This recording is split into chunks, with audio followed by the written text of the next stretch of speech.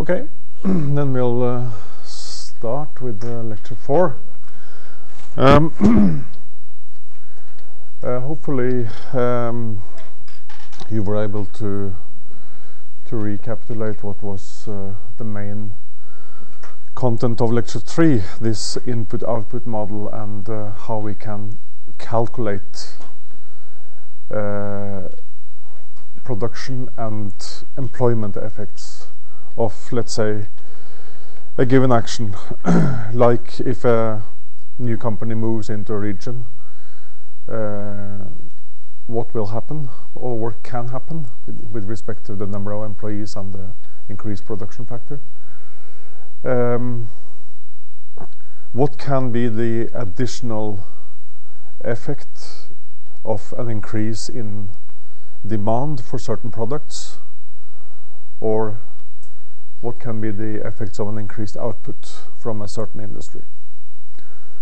So we'll use that information uh, to some extent um, towards the end of this lecture. But today I'll talk about uh, another important uh, type of model, namely cumulative causation models, and I'll give you a, or provide you with a numerical example of that. Uh, before uh, we come to that point, I will talk a bit about trade equilibrium, which is a way of illustrating why shorter transport distances can affect a region's output and the well-being of, uh, of consumers and of producers. And those of you who had the International Transportation and Distribution course last fall will uh, recognize uh, that, so you have to apologize for some repetition. But uh, according to the exam results, I don't think it matters. I'm not. I'm not looking at you now, but uh, but uh, it's okay, I think. Um, So I will uh, I'll go through this. Um, we'll come back to this general equilibrium when when we are going to talk about wider economic impacts later on in the course as well. Um, talk about export-led models, which is a kind of a cumulative uh, growth model. I'll hopefully make it clear what I mean by cumulative growth uh, later on and just summarize with how transport infrastructure affects these these uh, growth models. So let's start with with the basics here, uh, and this is taken from uh, this Walras equilibrium uh, notion. Is taken from uh, from uh, let's say microeconomic theory, which you may or may not have had too too much of, but the shorthand story is that all income that we that we earn is spent on goods and services. And we are all uh, maximizers of, of benefits, of utility, and of uh, profits when we if we are engaged in this as producers. The demand should be should not exceed supply so we cannot consume more than, than is produced. So normally we assume that the sum of, of demand is equal to the sum of supply. And then when a good price of a good changes, it could be travel costs, it could be uh, a price of, a, of any good. Changes in volume and price will take place, changes will take place, until a new equilibrium is reached.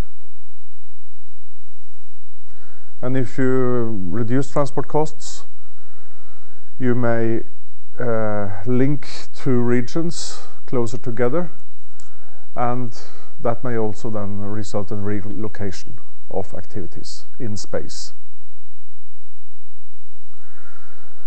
So these these models are sort of introducing space into the into the picture, and we'll talk more about space later on, uh, how spatial effects of, uh, of of transport systems. But you you you get the intuition here that when you reduce transport costs, you may you or a company may want to move, uh, which can can have some some effects on on output in the, in, in the regions. So when we talk about general equilibrium, we are saying that the adjustments after some action is taken, like for instance a new new uh, new transport link, then the choice of transport modes the choice of goods and services to, to, to purchase or to offer to the market, choice of location, have taken place such that we end up with a new set of equilibrium quantities and prices. Just think about it in a very practical way. You can improve, uh, build a motorway or a high-speed rail system or whatever, and it, it will most certainly end in some changes, including relocation. So we uh, we assume then that that the consumers and the producers are, are informed about the outcome of their actions, and uh, and the new equilibrium is the state of affairs where you cannot improve things further. So these these are models. So you have to you have to bear that in mind that we try to to work out by by by modeling such uh, such behavior how how adjustments may take place. And models may not be accurate but they can give very good indications of what, what could could take place. And it's also important to remember that Some processes are slow, whereas others are very fast. Changes can take place immediately. So it's also when we when we try to understand what can happen, uh, it's also uh, important to have that in mind that things can adjust rapidly or it may take take quite a lot of time. And we can illustrate that by this figure, where if we then talk about uh, changes, slow changes in society is often connected to people's preferences. Take some time to sort of change a consumer pattern of uh, of uh, of people in in general takes may may be it varies of course uh, depending on, on on what what we are talking about here but uh, if there is a technological shift you know, of some kind it takes some time to adjust to that nodes and link in the infrastructure network are also slow processes because it takes a lot of time to plan them to make the decisions and to build new nodes and links. To get hold of infrastructure capital can also be uh, a process that may take time. It is linked to this one.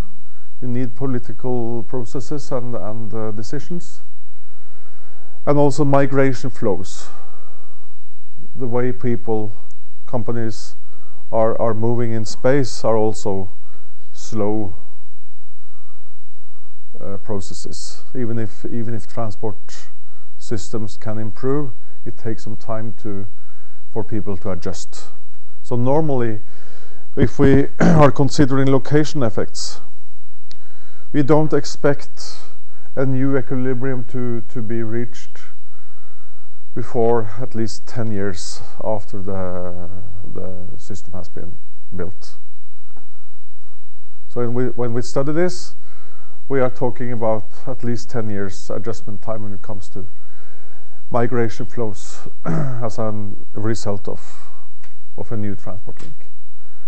Then we have the medium factors, uh, which can be uh, wage adjustments, scheduled transport flows like bus routes, need some time to, to change uh, a timetable more uh, can vary of course but but some time and then the capacity increase in the transport network like for instance increase of vehicle stock number of aircraft number of ferries or something like some aspects like that. And then we have the rapid ones which are uh, financial flows which can take place immediately information flows and traffic flows. Like how people chooses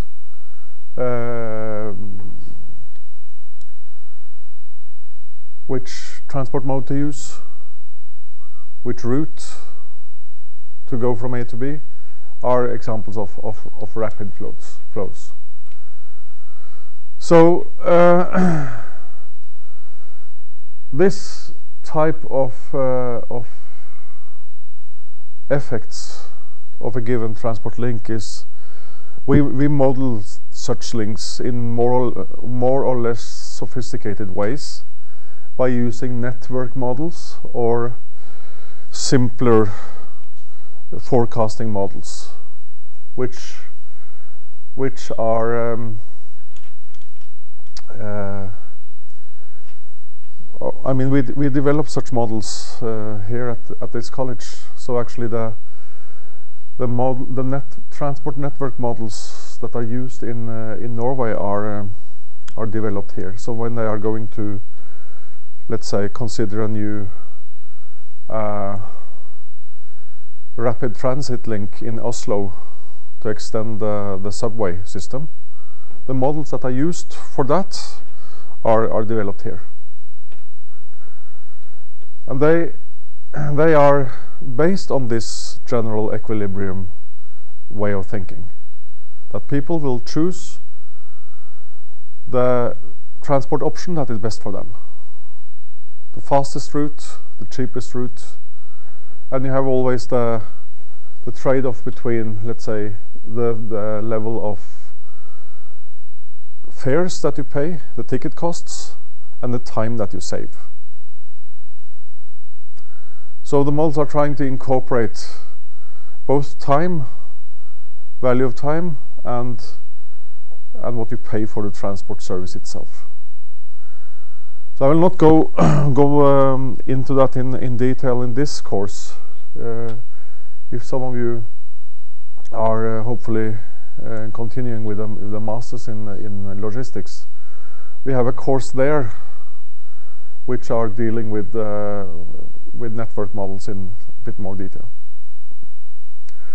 But the point is that the there there are all, there are linkages between the slow, medium, and rapid, uh, let's say, adjustments, because uh, the rapid flows take place uh, immediately, but they are affected in longer in the longer term by the slow and the medium impacts.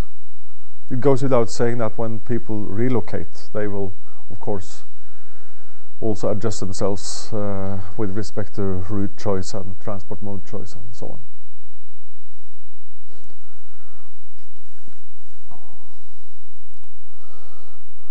And this is the figure which some of you have seen before because and I think I will use some time to to to explain it because it's it's different for understanding the outcome of the export-led model that I will uh, talk about later on. this illustration is simply a merge of two figures. And the two figures here are two markets. One market with high costs, high wages, and another one with lower cost and lower wages. So I start with the high cost.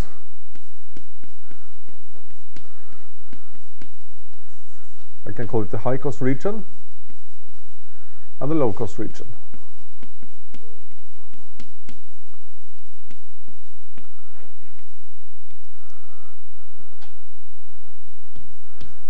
And the vertical axis of prices and uh, costs in both and uh, volume and volume. And now I'm going to, to, to simply draw a supply and demand curve.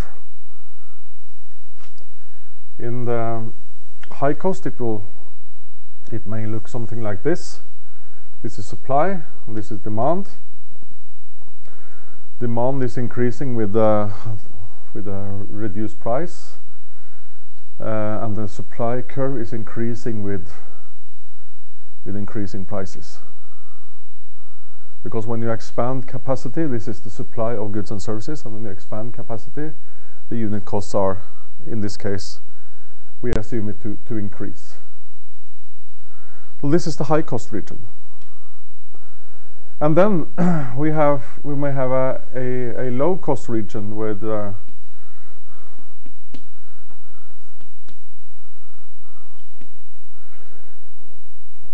with a demand curve like this and a supply curve like this. You can you can uh, consider them as uh, let's say this is an isolated island with their own, let's say, they have a monopolist, they have one shop, they may have one of each of, let's say, type of private service providers. So the costs of, of running uh, or the the supply curve for the services and goods in the uh, in the high cost region, which can be considered as an isolated island, or not isolated, but in a way isolated because it takes time and costs quite a lot of money to to uh, to go to the mainland. Can be represented by this, whereas this one could be um, a lower cost region, which could be um, a, a larger economic system with more competition, lower costs, and hence a, uh, a supply curve that is lower here. So what this figure in, on the on the screen means is simply that we have made a common vertical axis. So this part is according is uh, corresponds to this part. And now what I have tried to illustrate here is that there are some transport costs between these two regions. At the outset, it is T10 And now we are going to consider the situation where we are improving the transport system. Let's say that we replace a uh, slow going fer ferry service with a bridge or a tunnel, a fixed link. So that the transport costs are reduced from this level and down to this level. So that is uh, that is what I'm uh, I'm trying to illustrate here. The consequences if we are, let's say, merging these two economies together in a tighter way, not not completely, because there are still a distance to be overcome here, represented by by these these costs, but these costs are much smaller than they used to be in the first place. So um, this one, this part of the panel is uh, is equal or corresponds to this one, whereas this one is just reverted 180 degrees and with a common vertical axis with uh, with this one. So then this is the demand curve and this is the supply curve. Increasing and decreasing. And you have the volume going in the left hand direction. So we have a difference.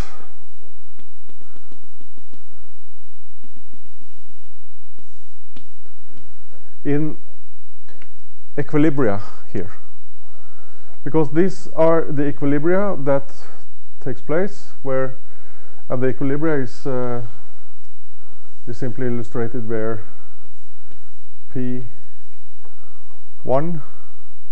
and Q1 this is the price and this is the volume of a given good or service in market in, in the high cost market.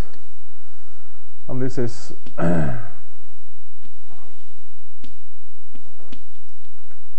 the price and the quantity in the low cost market. And these, the point is that these two can, can now be, they can be able to trade with, with each other because of the reduced transport costs. They can be better able to, to trade with, with each other. So this is corresponds to T one two zero in in this panel. So now we reduce the transport costs. This may also be considered as two countries, a low-cost country and a high-cost country. And the reduction in transport cost can be done by means of some uh, some technological shift in the transport system. One you can think of uh, if you see it in a in a global context. You can consider the reduction in transport cost as a result of being able to use the northern sea route north of Russia uh, from from China or Japan instead of going via Suez, Mediterranean Ocean, and to and to Europe. So the the northern sea route is is much shorter, and because of the ice situation, it's uh, it is expected to be easier than to to use that for for uh, for deep sea shipping. So that is another example. International trade. Uh, here, in this course, it can be just as well considered as two neighboring regions with a kind of a, a transport hindrance in between, which can be reduced.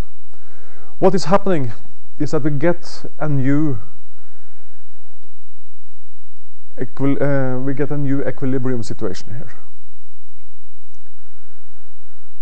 Because in the low cost region, they will experience a demand from the high cost region.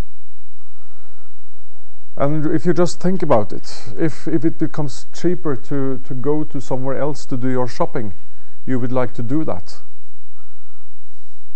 If you are living in, in Molde and, uh, and it takes half an hour to go to, to the shopping center outside of Ålesund instead of one and a half hours as it does, does today, you would probably, or at least some of you, would perhaps do that. And that means that as a citizen in a high cost region, for instance, like Molde, you could you could well uh, want to uh, to go to the neighboring city, uh, and then you are actually importing. If you buy something then on in the other city, you are you are an importer. You import the goods from the lower cost region, the shopping center in the neighboring city. And that neighboring uh, shopping center is, is then an exporter. They export the goods that they sell to you and which you then take, take back to take with you back to the to the high cost region. So what we get here is that this is the price at the outset in the low cost region. And because there are a, an increasing demand, uh, so, sorry, supply curve in the in the low cost region, if they start exporting or selling a lot more to the neighboring region, prices will increase up to this level. And the additional production that is needed to serve the shoppers or whoever from the neighboring region, the extra output will be equal to this, this part.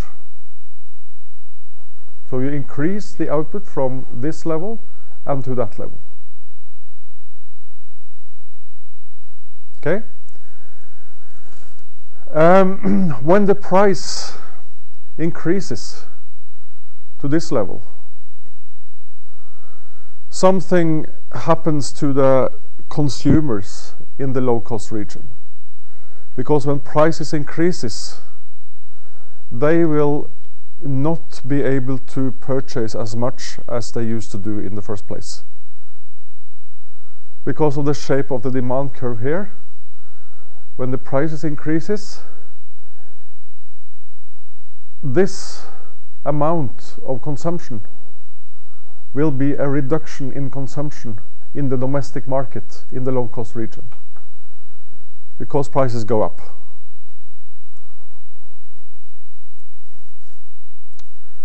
So the, the sum of the consumption that does not take place in the low cost region because of the higher prices and the extra output that will result from the higher prices because of this shape of the demand, uh, supply curve will result in a total amount of, of goods that are exported out of the region. As a result of this uh, decrease in transport costs, which makes the high cost region able to go in an easier way, less costly way, to the low cost region, and then um, demand goods from there. And their demand will then result in an increased output in the low cost region and a reduced consumption in the low cost region. In the high cost region, this was the, the price at the outset, the equilibrium at the outset. When transport costs are, uh, are uh, reduced, they will go to this region and purchase some of their goods there. The new equilibrium price will drop to this level. Remember that we still have some transport costs involved here. So, what will happen? Price goes down, It means that when price go down and if you follow this demand curve, the same as here. So this is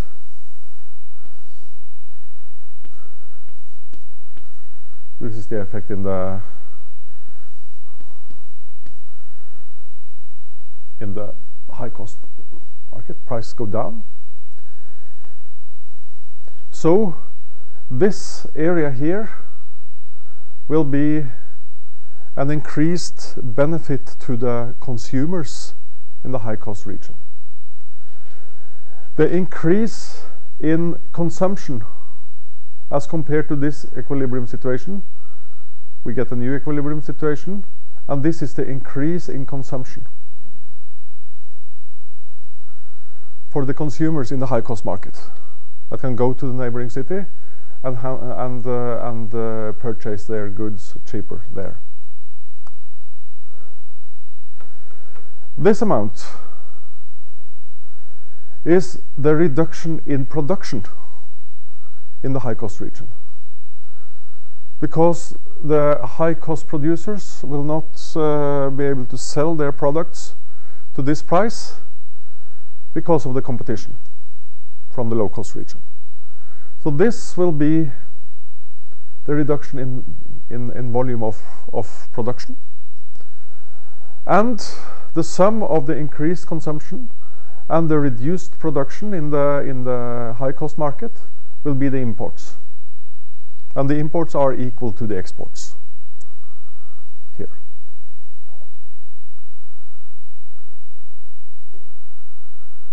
So um, the welfare effects and when welfare effects I, I mean the distribution of uh, let's say uh, costs and benefits here between the producers and the and the consumers is like this in the low cost region prices go up this area here will be a loss to the consumers. This will be the loss to the consumers because of the high prices. So this this rectangle here is, uh, let's say, the increased prices that the consumers that still will be in the market and buy their goods in the low-cost region. This is the increase in payment price times quantity that the the remaining consumers will pay, whereas this this uh, triangle will be the loss resulting, uh, which is a result of the reduced consumption, because the some of the consumers in the in the low cost region will be squeezed out of the market. So this is the loss for the consumers. But for the producers, they will be the winners here because they will get higher prices. So of course, also higher costs, but higher prices. Uh, they will increase their activity with a value corresponding to this whole area. So they get this amount in increased payment from the consumers that are that are, are already or that are still buying their their goods and services in the low cost region and they get also these benefits or this this revenue from uh, from the from the exports to the high cost region. So the net gain from this reduction in transport cost in terms of of uh, let's say net benefits to the low cost region is the benefit for the producers minus the benefits for the consumers and the net gain is equal to this triangle AN A1 B1 E1 is the net gain from this action. But still the consumers are the losing part and the producers are the winning part.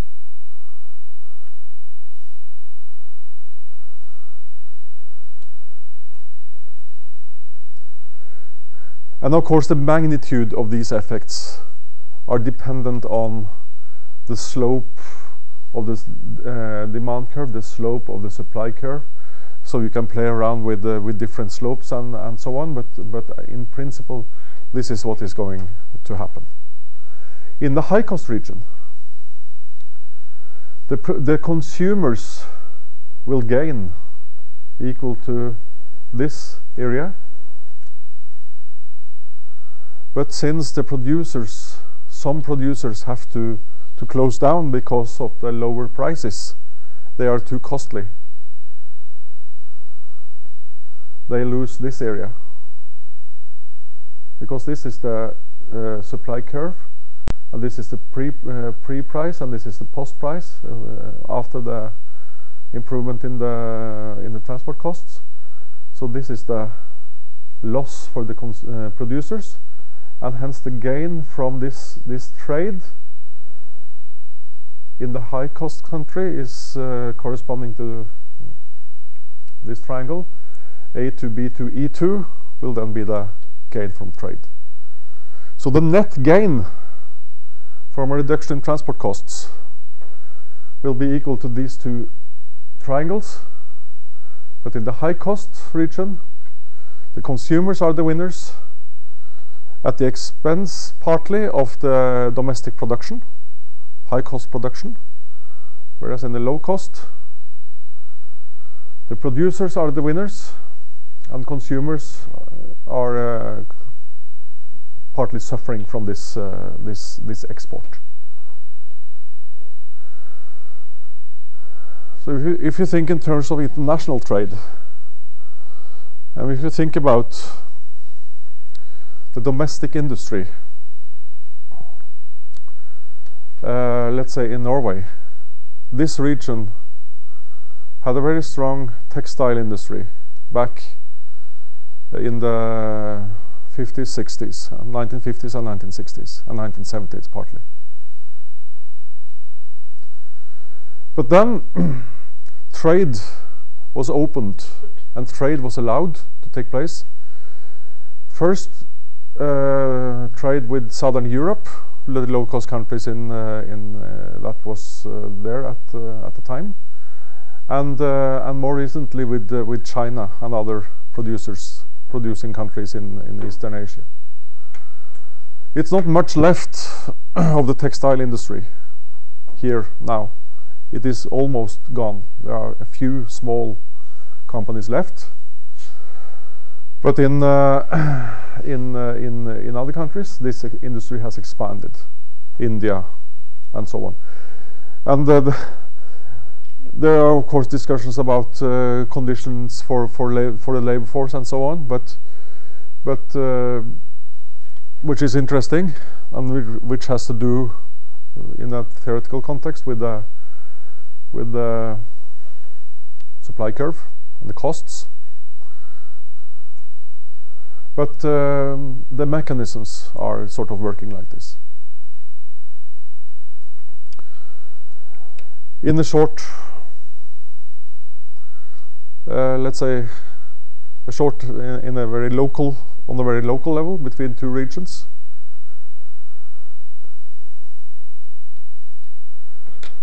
Or at the global level between continents. It works the same way.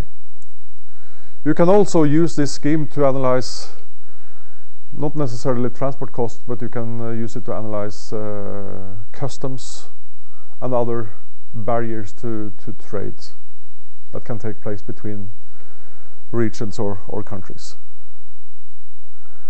So when uh, the EU is saying that we want a common market with a high focus on uh, as low transport costs as possible and no customs, no documentation uh, on the border crossings.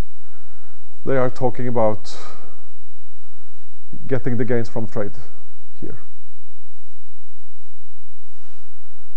Of course, this will uh, make some groups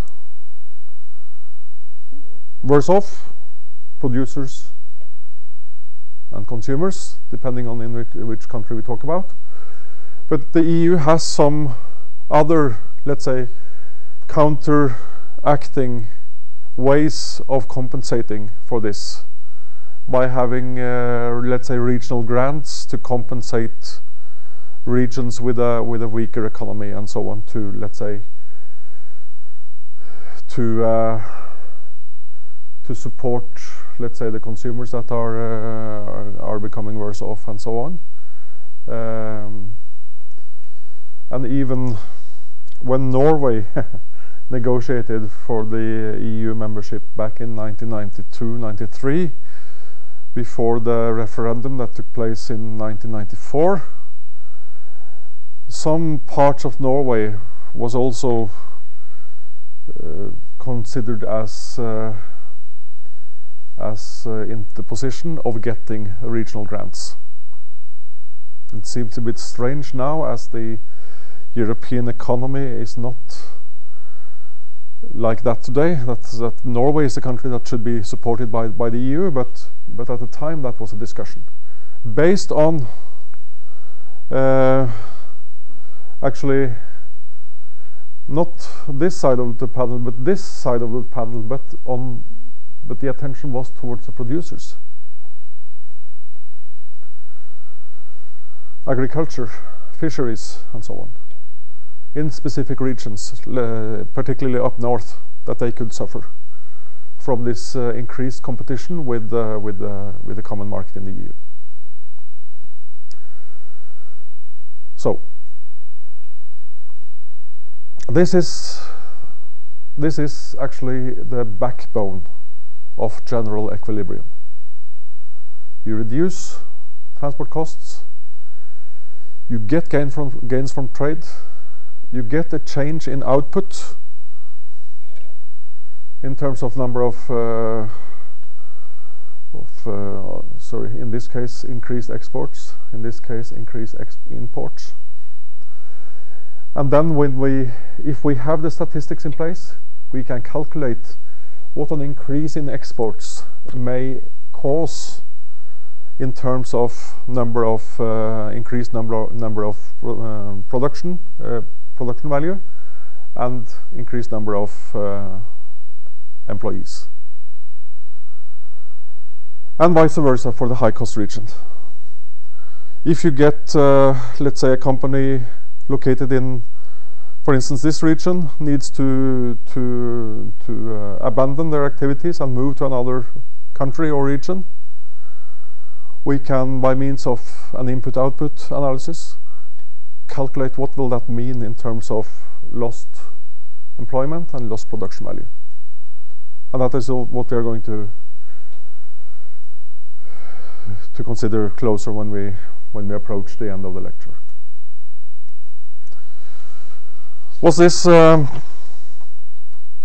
reasonably clear? So the next slide I think is just uh, elaborating or saying more or less the same as I've tried to say now. And then in the next uh, session we we are going to dig a bit more into cumulative causation and cumulative processes, cumulative growth processes. So then we break until quarter past.